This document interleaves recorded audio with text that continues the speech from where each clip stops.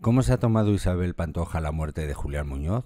La tonadillera ha sido una de las personas más buscadas por la prensa en las últimas horas. Y es que, al conocerse el fallecimiento de su expareja este 24 de septiembre, muchos han puesto la vista en la cantante para saber cómo se ha tomado la noticia. Por todos he sabido que Isabel no ha vuelto a poner a Julián en su boca, desde que rompieran su relación en 2009.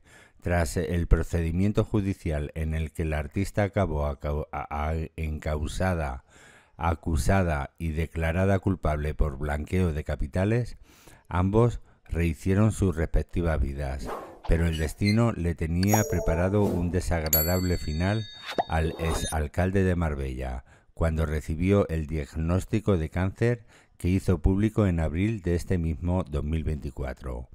Cuando se puso aquella noticia, los focos se dirigieron a la tonadillera, y entonces guardó silencio, lo mismo que ha hecho ahora tras saber que su ex pareja había fallecido, y es que este 25 de septiembre la intérprete de Marinero de Luces volvía a salir a la calle para retomar su agenda profesional, ya que este viernes 27 tiene previsto dar un concierto en Alcalá de Henares, Madrid, en el marco de los conciertos de Muralla, por los que va han pasado otros artistas como Mar Montes, Malú, Stevie Aoki, Víctor Manuel o Camela.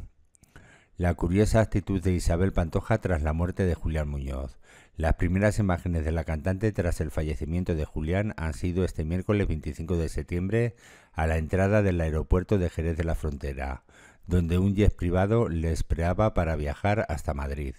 Con, eh, con semblante serio, acompañada por su hermano Agustín Pantoja, como no, y atrevida con su característico fular, gafas de sol y pelo recogido. La tonadillera ni siquiera miraba las cámaras y tan tranquila se eh, adentraba en el terminal sin medir palabras, con una curiosa total indiferencia ante las preguntas sobre la muerte de su expareja. Y es que, tal y como contaba Antonio Rossi en el programa, vamos a ver la directriz a seguir por Isabel y su entorno ha sido la de evitar toda costa a la prensa, con lo que queda claro que no piensa hablar sobre el tema.